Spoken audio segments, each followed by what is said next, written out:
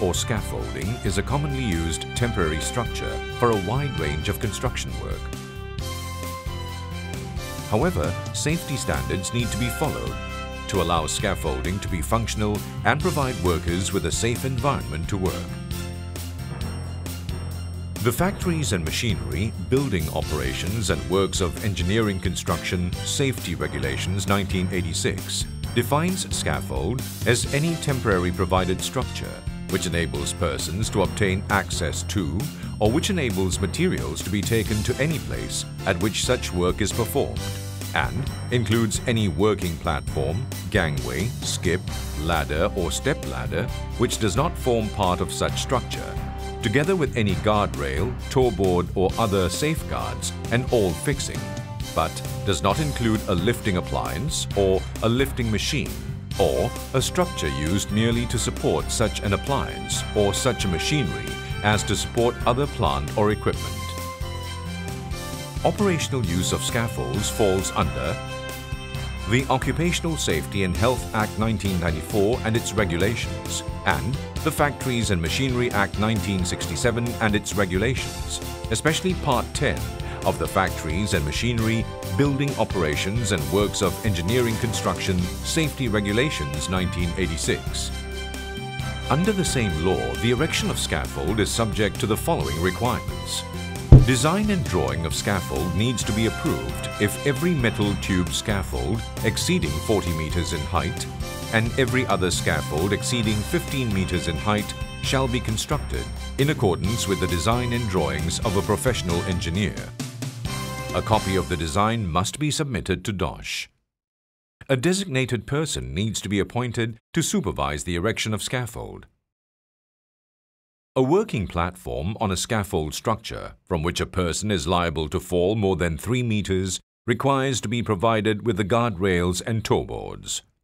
To ensure the scaffold structure is in proper working condition, the designated person needs to inspect the scaffold every seven days or after exposure to adverse weather condition for signs of fatigue, displacement and stability of the scaffold. The inspected scaffold is then tagged to indicate whether it is safe for use.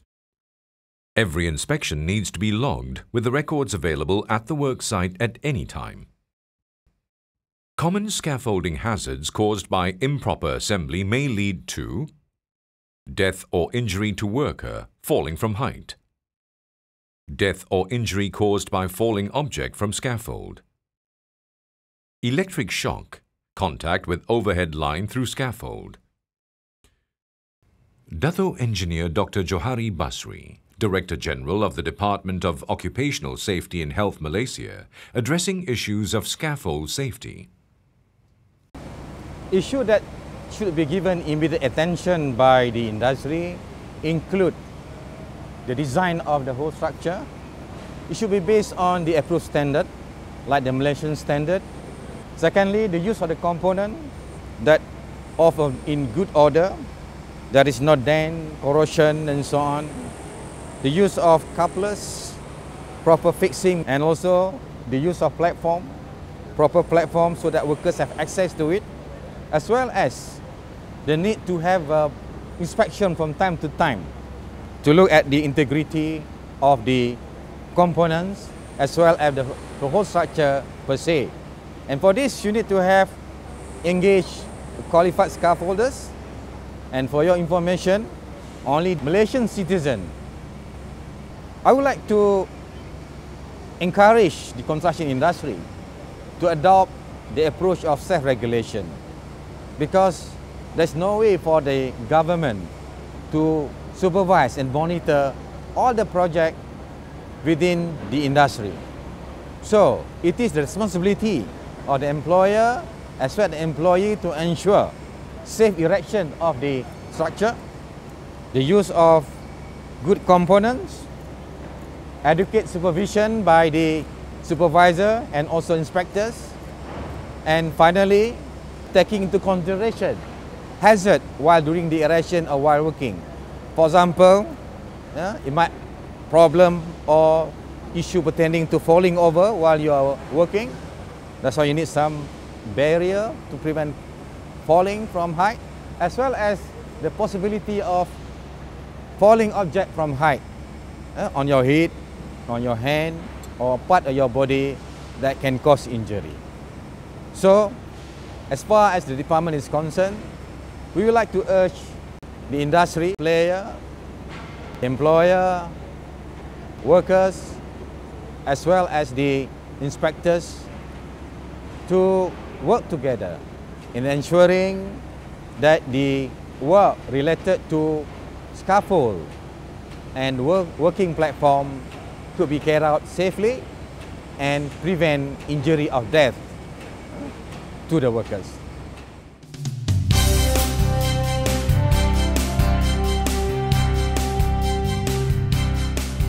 Types of scaffolding. Tubular scaffolding. Modular scaffolding.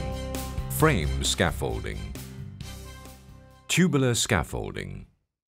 This is a multitude of systems whereby various metal, steel or aluminium alloy components are linked together, usually without the aid of usual couplers, to provide a structure which would replace a normal tube and fittings scaffold.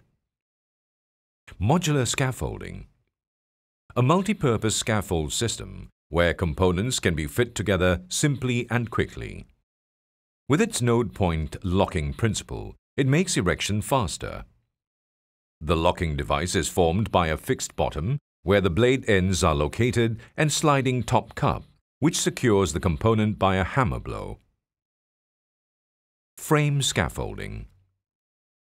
Fabricated frame scaffolds are the most common type of scaffold because they are versatile, economical and easy to use. They are frequently used in one or two tiers by residential contractors, painters, etc but fabricated frames can also be stacked several stories high for use on large-scale construction jobs.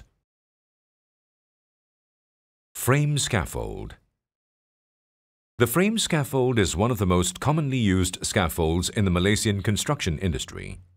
Let us look at the components of the frame scaffold. Mainframe the mainframe consists of two standards and transom welded together with latch pins forming the major form of the scaffold. Cross brace. This is used to connect mainframes into a structure. The cross brace is joined in a hinge in the middle with both ends flattened and drilled for insertion of latch pins holding the two frames together.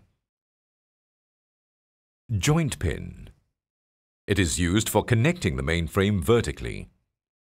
Arm lock is a safety measure to prevent the mainframe from being disconnected or dislodged from the frames.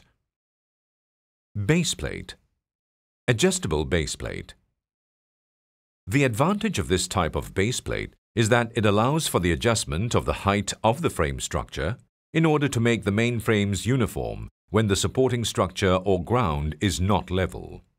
Swivel clamp to lock the rails in place. Ladder for moving between different levels of the scaffold structure. Working platform serves as a platform for workers to work from. Guardrail to prevent workers falling from heights. Toe board prevents persons, tools or materials from falling off the working platform. Wall tie an additional part of the scaffold extension for the purpose of securing the scaffold structure to the existing building. Racker. These are additional supports consisting of pipes erected at a 45 degree angle to prevent scaffold from toppling over.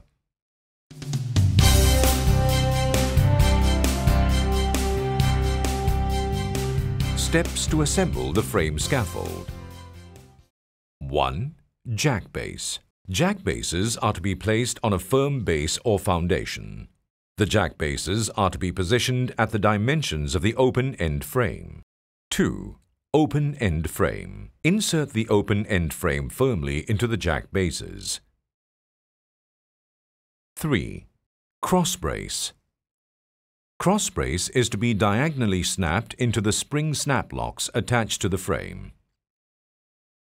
4. Working platform. Attach the working platform to the scaffold and ensure the locking pin is secure once the position for the working platform is determined. 5. Ladder. Before attaching the ladder, attach swivel clamp at the bottom vertical scaffold to hold the brace for attaching the ladder. Once the brace is ready, place the ladder and ensure the locking pin is in place. 6. Joint pin. To erect the second level of scaffold, place the joint pin into the open end frame. Once the frame is in place, install the cross brace. 7. Arm lock. Place the arm lock to interlock the bottom frame to the top frame. 8. Swivel clamp. Attach the swivel clamp to the vertical frame as a base to attach the guardrail. 9. Guardrail. The guardrail is then attached in place by tightening the swivel clamp. This is to prevent workers from falling off the scaffold. 10. Toe board. Toe board is installed just beside the working platform to prevent workers or objects from slipping off the working platform. Step 2 is repeated until the scaffold achieves the desired height and width. 11. Racker A racker is installed at a 45 degree angle using the guardrail and swivel clamp to prevent the scaffold from tilting over. 12. Wall tie. The wall tie is used with a swivel clamp to secure the scaffold to the building to prevent any tilting. Safety Guidelines and Checklist. Things to check. Firm base or foundation. Components in good condition, not crooked, bent or damaged. Proper assembly. No missing parts, pins, cross braces. No rusty components. Tagging red and green. Red scaff tag indicates that the scaffold is not safe for use by anyone. Green scaff tag indicates that the scaffold is complete and is safe for use at the time of inspection. A green scaff tag is valid for one week. Common scaffolding failure is caused by poor scaffolding design or assembly, not following erection procedures, foundation failure, material fatigue, overloading, poor inspection record, erected for non-intended use. Master Builder Association Malaysia continuously seeks ways to improve safety and health in the construction industry towards achieving zero accidents. We will continue to work with government bodies and policymakers to further bring forth recommendations for the betterment of the industry.